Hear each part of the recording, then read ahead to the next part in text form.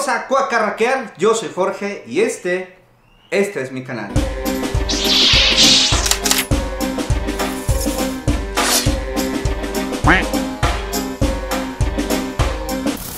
Esta te aseguro que es una historia que tú ya conoces. Una familia vive en una granja en un pequeño pueblo norteamericano. Esta familia tiene una vida que parece ser casi perfecta, porque ellos tienen el sueño, la ilusión de convertirse en padres. Ellos quieren tener un bebé.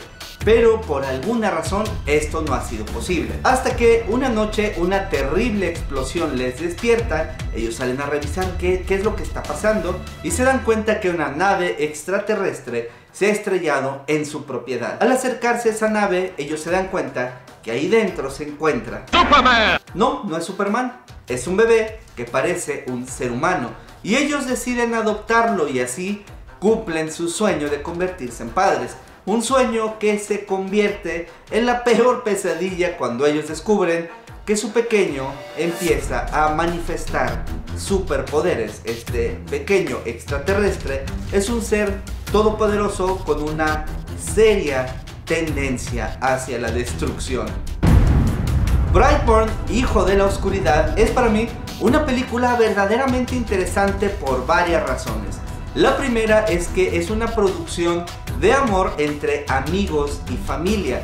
Porque bueno, esta película fue producida por James Gunn, el director de la muy famosa película Guardianes de la Galaxia.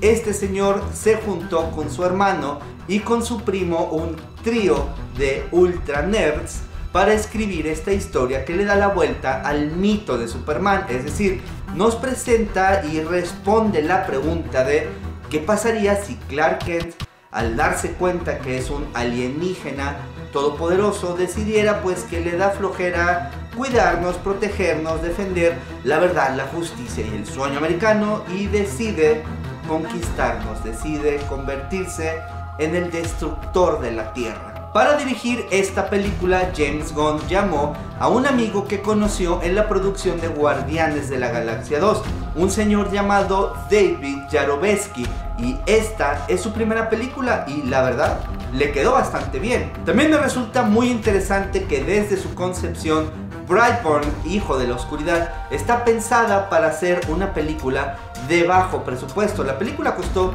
7 millones de dólares, se filmó en dos meses y no participó ningún actor o actriz súper famosa de Hollywood, lo cual hubiera sido muy sencillo porque el nombre de James Gunn abre muchísimas puertas, podría haber conseguido mucho dinero para hacer lo que él quisiera, pero él decidió hacer una película bastante modesta para poder tener algo de libertad creativa. Esta película es protagonizada por Elizabeth Banks que interpreta a Tori Breyer, la madre de la familia. También por el actor David Denham que interpreta a Kyle, el padre de esta familia. Y en su primera película al joven Jackson Dunn que interpreta a Brandon Breyer, el hijo de la oscuridad, un personaje que me parece de verdad muy bien logrado, de hecho creo que este chico hizo un gran papel en esta, que es la primera vez que lo vemos en una pantalla de cine. Porque por lo menos a mí me pareció bastante convincente este conflicto que él está viviendo en el cual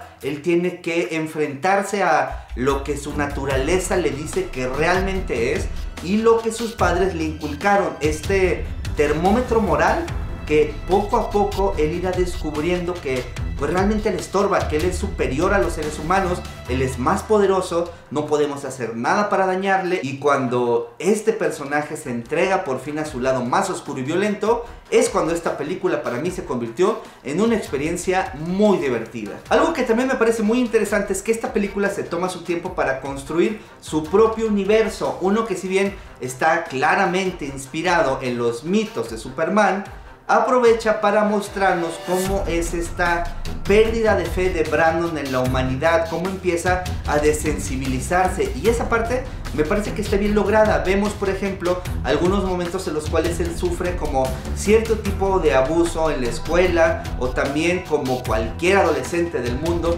Tiene episodios en los cuales pues le hace un berrinche a los papás, pero ¿qué pasa cuando este berrinche no se puede contener? Porque él ya se sabe una persona súper poderosa y los papás no pueden hacer mucho para mantener el control. De hecho, Brightburn me recordó en algunos momentos a una extraordinaria película que si tú no has visto te recomiendo que lo hagas lo más pronto posible llamada tenemos que hablar de Kevin, una película que nos cuenta el proceso en el cual un adolescente empieza a descubrir cuál es su verdadera naturaleza interior y esa naturaleza interior es la de ser un asesino despiadado. Pero a diferencia de tenemos que hablar de Kevin donde este chico sufrió el rechazo de sus padres desde muy temprana edad. En Brightburn vemos todo lo contrario, una familia que al cumplir su sueño de ser padres dedican toda su atención y su amor a este pequeño, pero como pase la vida y pase las historias, él eventualmente descubre cuál es su verdadera vocación, cuál es su razón de estar vivo y estar aquí en la tierra y esa razón pues es la destrucción total. Hay algo bastante retorcido en esta película y es la intención de retomar a uno de los máximos íconos de la justicia y la representación máxima de la moral como lo es Superman para darle la vuelta y mostrarnos el lado más amoral y violento de un superhéroe. Hay varios momentos de violencia y horror en esta película que si bien no son del todo explícitos, funcionan muy bien para inquietarnos, para presentarnos un tono distinto al que estamos acostumbrados en este tipo de películas. Por supuesto, esta película no es perfecta. Es un hecho que al tener un presupuesto considerablemente bajo, pues no tenemos escenas espectaculares en las cuales podamos ver el uso y los alcances totales de los superpoderes de este personaje. Y también tenemos a Elizabeth Banks en la interpretación de la madre que durante toda la película se la pasa en negación eh, sin querer ver cuál es la verdadera naturaleza de su hijo y de repente cae en ciertas exageraciones que pues a mí me sacaban un poco de la película. Y también al ser la primera película del director David Yarovesky pues tampoco tenemos una puesta en escena muy espectacular o particularmente muy bien lograda, pero lo que sí hace muy bien es la creación de un nuevo universo que nos presenta un tono, un estilo distinto en el cine de superhéroes que creo que esta película le va a gustar a los fanáticos de los cómics y los fans del cine de horror. En realidad yo le disfruté mucho. Y es por eso que si a Brightburn, hijo de la oscuridad, le tengo que poner una calificación del 1 al 10, yo le pongo un dignísimo 7. Yo sí quiero ver una segunda parte con este personaje. Creo que tiene creo que tiene mucho potencial. Pero por supuesto ya saben que esto no es nada más que mi opinión, entonces me encantaría que cuando ustedes vayan al cine y vean Brightburn, Hijo de la Oscuridad, regresen, me sigan en mis redes sociales porque ahí podemos hablar de esta, de otras y de muchas películas. Yo soy Jorge, esto es Cuacarraquear. Si esta es la primera vez que pasas por mi canal, la primera vez que ves uno de mis videos, te invito a que te suscribas y dejes tu like. Eso te lo voy a agradecer muchísimo. Y con esto claro, nos vemos en la siguiente.